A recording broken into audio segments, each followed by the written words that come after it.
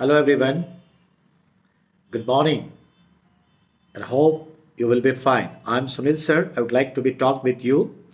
Today is 30th December, second last date of 2021. आज 30 दिसंबर है 2021 यानी इस वर्ष का सेकेंड लास्ट डे है डेट है तो ध्यान दें 30 दिसंबर 1906 आज के बांग्लादेश के ढाका, यानी भारत के ढाका में, ढाका के नवाब वकार उल हक सलीमुल्लाह ने मुस्लिम लीग नाम की पॉलिटिकल पार्टी का नींव रखी थी और इसके प्रथम अध्यक्ष वकार उल हक साहब के मित्र मिस्टर आगा खां चेयरमैन बने थे। तो आज मुस्लिम लीग पॉलिटिकल पार्टी का फाउंडेशन डे है 1906 30 दिसंबर, ढाका।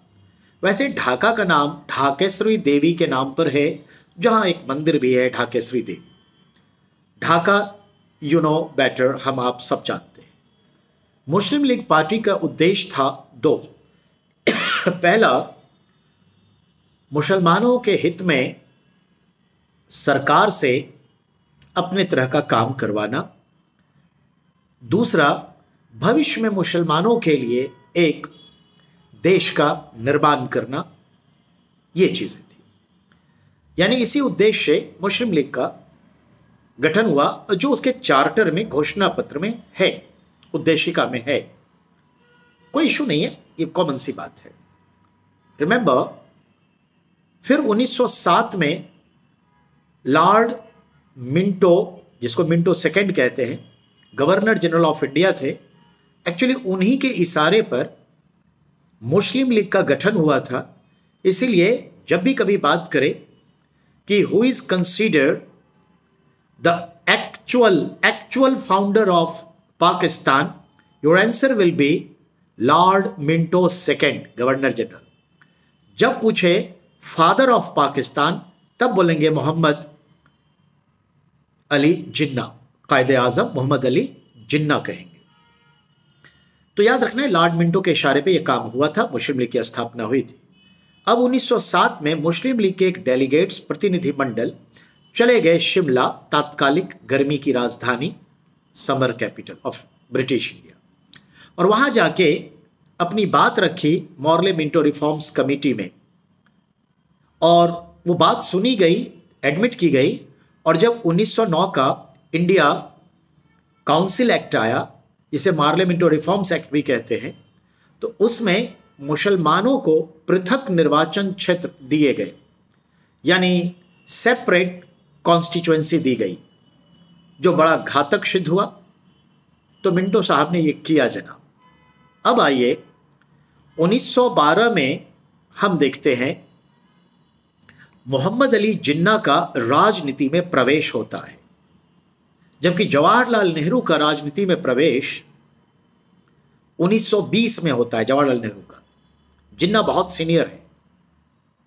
ध्यान देंगे, गांधी जी, महात्मा गांधी और मोहम्मद अली जिन्ना दोनों के राजनीतिक गुरु गोपाल कृष्ण गोखले थे। इस तरह से गांधी और जिन्ना गुरु भाई थे। जबकि वल्लभ भाई पटेल और जवाहरलाल नेहरू महात्मा गांधी के शिष्य हुए, राजनीतिक शिष्य हुए। तो ये फ़र्क है। समय गुजरा, बात आगे बढ़ी। 1930 में मुस्लिम लीग पॉलिटिकल पार्टी का एक सदस्य, जो आज के पाकिस्तान के पंजाब क्षेत्र का रहने वाला और उस समय कैम्ब्रिज यूनिवर्सिटी इंग्लैंड में पढ़ता था, जिसका नाम था चौधरी रहमत अली। उसने पाकिस्तान शब्द को सृजित किया क्रिएट किया कि फ्यूचर में जो इस्लाम का देश होगा, मुसलमानों का देश होगा, उसका नाम पाकिस्तान होगा। So the question always come Pakistan शब्द किसने क्रिएट किया? तो चौधरी रहमत अली ने 1930 में किया, जो कैम्ब्रिज यूनिवर्सिटी का विद्यार्थी और मुस्लिम लीग का एक सदस्य था, जो आज के पाकिस्तान के पंजाब प्रांत का रहने वाला था। अब आइए, दो सितंबर उन्नीस सौ 1939 सेकेंड सितंबर को, जो है, भारत के सात राज्यों के कांग्रेस और मिलीजुली सरकार में जहाँ कांग्रेस थी, उस सरकार ने सामूहिक इस्तीफा दिया और व्यक्तिगत सत्याग्रह की शुरुआत हुई इंडिविजुअल सत्याग्रह। और उस 2 सितंबर को मुस्लिम लीग को कई जगह सरकार बनाने का मौका मिला और मुस्लिम लीग ने इसे कहा मुक्ति दिवस। यानी कांग्रेस से मुक्ति मिल गई। मुक्ति दिवस, यानी deliverance day Muslim League celebrates deliverance day on second September 1939 जिस दिन हमने व्यक्तिगत सत्याग्रह की शुरुआत की। 1940 तेईस मार्च, ध्यान देंगे, मुस्लिम लीग का एनुअल कॉन्फ्रेंस लाहौर में हुआ और 23 मार्च 1940 को मोहम्मद अली जिन्ना ने इस कॉन्फ्रेंस में सीधी मांग रख दी वी वांट पाकिस्तान। हमें पाकिस्तान चाहिए। 23 मार्च 1940 तो ये भी क्वेश्चन आते हैं। 16 अगस्त 1946 को मुस्लिम लीग से जुड़े जवाहरलाल नेहरू के अंतरिम सरकार के मंत्रीगण ने सामूहिक इस्तीफा दिया collective resignation from the Jawaharlal Nehru's cabinet of the Muslim League's ministers members और इस्तीफा देके उन्होंने कहा, लड़कर लेंगे पाकिस्तान और सांप्रदायिक दंगों की शुरुआत बंगाल से की, जहाँ उनकी सरकार भी थी मुस्लिम लीग की।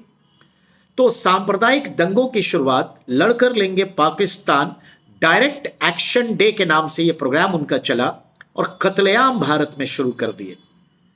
अब हम भी हैवान हो गए। हम भारतीय हैवान हो गए और काटना शुरू कर दिए तो ये इसे कहते हैं प्रत्यक्ष कार्रवाई दिवस, डायरेक्ट एक्शन डे 16 अगस्त 1946 मुस्लिम लीग ने शुरुआत की और नेहरू के कैबिनेट से इस्तीफा देके की। DAD dad, direct action day. फिर उसके बाद देश का बंटवारा हुआ और बंटवारे के तहत ये मुस्लिम लीग पाकिस्तान में भी गई और जब पाकिस्तान के दो टुकड़े हुए तो यही मुस्लिम लीग बांग्लादेश में भी गई। तो मुस्लिम लीग बांग्लादेश में भी है, मुस्लिम लीग पाकिस्तान में भी है। नवाज़ शरीफ, गुड, जानते हैं। और भारत में भी मुस्लिम लीग केरल में ज़िंदा है। तो केरल में भी इंडियन मुस्लिम लीग है। इसी की तीन जड़, इसी की जड़ों में देखे, तीन शाखाएँ निकल के आई। अब मैं बात करूँगा पाकिस्तान 14 अगस्त उन्नीस सौ सैंतालीस को आज़ाद हुआ और हम अगले दिन तो पहले भारत से अलग हुआ पाकिस्तान, फिर आज़ाद हुआ। लेकिन वहाँ पर 1935 का संविधान चल रहा था। फाइनली हम देखते हैं, भले हमसे पहले आज़ाद हुआ, पर हम रिपब्लिक बन गए 26 जनवरी 1950 को गणतंत्र हो गए। मेरा डोमिनियन स्टेटस खत्म हो गया, लेकिन उसका डोमिनियन स्टेटस चलता रहा 22 मार्च 1956 तक। 1956 के 23 मार्च को पाकिस्तान ने अपना बनाया हुआ संविधान लागू किया और Pakistan declare a republican country तब गणतंत्र बना। क्यों? 23 मार्च। क्योंकि 23 मार्च को ही पाकिस्तान लेने की बात मिस्टर जिन्ना ने की थी 23 मार्च 1940 लाहौर कॉन्फ्रेंस में। तो 23 मार्च को पाकिस्तान का रिपब्लिक डे होता है और 14 अगस्त को उसका स्वतंत्रता दिवस होता है। हम भी 15 अगस्त को आज़ाद हो गए, स्वतंत्रता दिवस है, लेकिन हमने अपना गणतंत्र उस याद को बनाए रखा, जो हमने 1930 में 26 जनवरी को लाहौर में रावी नदी के तट पर तिरंगा फहरा के, उस टाइम तो तिरंगा नहीं था, भारतीय झंडा फहरा के आज़ादी की घोषणा की थी और सेलिब्रेट किया था। तो ये कहानी है मुस्लिम लीग की। ठीक है? ध्यान में रखेंगे तो आज का दिन यही है। चलिए फिर हम बात करते हैं आगे। नमस्कार।